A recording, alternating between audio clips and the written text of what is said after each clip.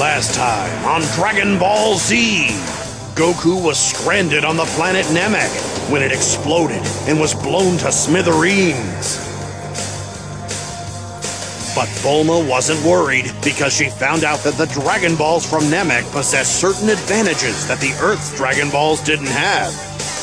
Goku, Krillin, and Chaozu can all be with back! King Kai, however, was less than enthusiastic. Using the Namek Dragon Balls is a great idea, but I'm afraid it won't help Goku and Krillin.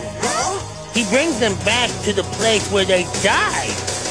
Goku and Krillin died on Namek. They would materialize in space. Right where Namek used to be.